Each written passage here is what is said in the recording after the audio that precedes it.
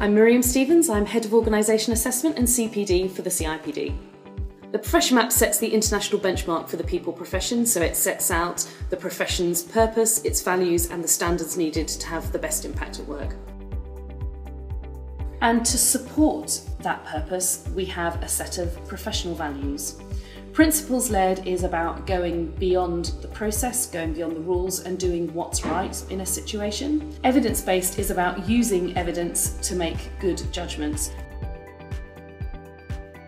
Outcomes driven is about focusing on work that has the greatest impact. So, focusing on work that solves people problems and solves business problems for the organisation. We have a set of core knowledge standards and core behaviour standards which set out what you need to know to be an expert in people, work and change and the way you need to behave in order to live the values of being principles led, evidence based, and outcomes driven. We also have a set of specialist standards which can be used by individuals dependent on their role. We have four impact levels at Foundation, Associate, Charter Member and Chartered Fellow level. They are all very different. We have descriptions of all of those levels and I recommend that people go onto the website and understand which one their role most closely aligns to.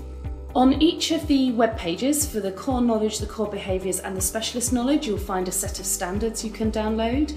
And on the main page, you'll also find the full standards for the full profession map at all levels that you'll be able to download and look at. There are more videos relating to some of these knowledge areas and you can find those on the website.